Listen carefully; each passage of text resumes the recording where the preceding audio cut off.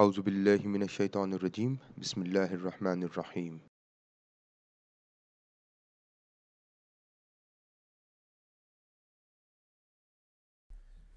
In this session, we are going to revise or look into discriminant validity. Although I've had previous videos on, on that as well, but I've received some questions regarding uh, discriminant validity. So I thought that let me explain it a bit further. Now here I've got a simple model with three, three predictors and one dependent variable. Now, in order to get my discriminant validity results, what I'm going to do is I'm going to go to calculate PLS SEM algorithm, path, standardized default, all good, start. Now, discriminant validity is assessed to establish the distinctiveness of constructs. Now, in social sciences research, what happens is we've got constructs that may overlap each other. In order to make sure that those constructs are actually distinct from each other, we establish discriminant validity. Now to do so, what we are going to do is we are going to come here to discriminant validity. Now there are different methods to establish discriminant validity. One is HTMT, that is based on the ratio of correlations. The other is Fornell and Larcker, where we use square root of AVE and compare it with the correlation of that construct with all the other constructs in the study. And then we've got cross-loading. Now first, let's look at HTMT. Now here, if we see all these are green. Now what is the threshold? The threshold is 0.85. But it can go up until up to 0.90 as well if you have the subdimensions or the constructs that can be highly correlated. So one can say that 0.85 is a more conservative measure of discriminant validity, 0.90 is a more liberal measure. Now, in this case, let's use 0.85, a more conservative measure. If you look here, all these ratios of correlations are less than 0.85.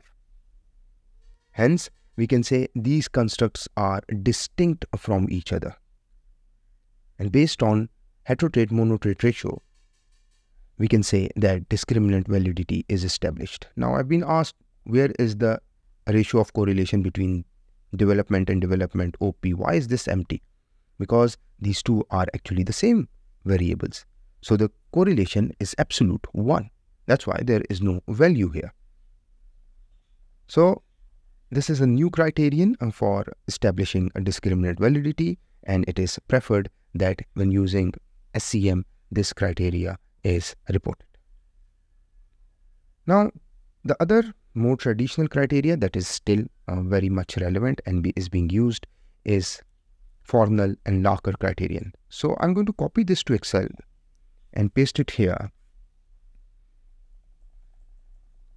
Now I'm going to bold and italicize these values on the diagonal Now this here is the square root of AVE for development.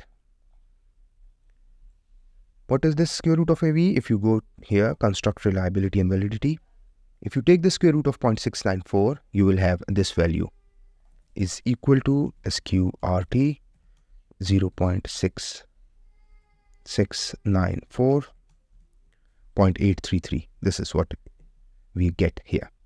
Now this value here, the square root of AVE should be greater than the correlation of that construct with all the other constructs in the study. So where are the correlations of development with all the other constructs in the study? Here they are. So you've got four variables, four constructs in the study, and you've got three, three correlations here. Is this value higher than all these values? Yes. So development is distinct from the other constructs in the study. Now what about OP? This is the square root of AVE for OP. Is this square root greater than the correlation of OP with all the other constructs in the study? Yes, it is greater than reward and vision. But where is the comparison of OP with development? It's not here, it's here. Development and OP. So this value is greater than this one and the values underneath. Similarly for rewards. the value square root of AVE for rewards is greater than its correlation with vision. But what about its correlation with development on OP? It's on the left here. Look at this. So you have to compare both at the, on the left and at the bottom. And finally, for vision, 0.884 is greater than its correlation with all the other constructs in the study. Hence, discriminant validity based on Fornell and Larcker criterion is established. Now finally, we've got cross-loadings, another method to establish discriminant validity. Now, development, OP, rewards, and vision, these are four constructs in the study. And each construct is measured using different items. Development is measured using seven items, OP is measured using five items, rewards is measured using four items, and vision is measured using three items. Now, what are these numbers? These numbers are factor loadings all these.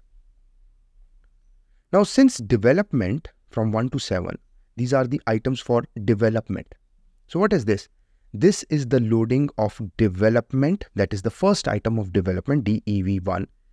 If the item loads with its parent construct or the theoretical construct that we have, that is development. So, its loading is 0.841. What if this item, development 1, was to load with other constructs in the study. Let's say OP. So it load its loading would decrease to 0.629. What if it was to load with rewards? Its loading would decrease to 0.484. What if it was to load with vision? Its loading would decrease to 0.558. This means that development 1 loads well onto its own construct in comparison to other constructs in the study. The same is the case with all the other items for development. Now let's consider OP. So will I select this one or this one? I will select this one. Why? Because OP1, when loading onto its parent construct of OP, its loading is 0.783. What happens to its loading when it's when when it or when you want to load it with development? It loadings or its loading decreases to 0.530. Look at this here. So OP, the items for OP 1 to 5, they load well onto its own parent construct in comparison to the other constructs in the study although OP4 is loading well onto two constructs. But since we did establish based on Fornell Larcker criterion and HTMT, we're not going to touch it for now. Similarly for rewards, look at this. All four items are loading well onto its own construct in comparison to the other constructs in the study. And same goes for vision. Now, based on this, the cross loadings and the assessment and analysis of cross loading, uh, we can establish that these constructs are distinct from each other. So this is how you can use Smart PLS to establish discriminant validity. Thank you very much.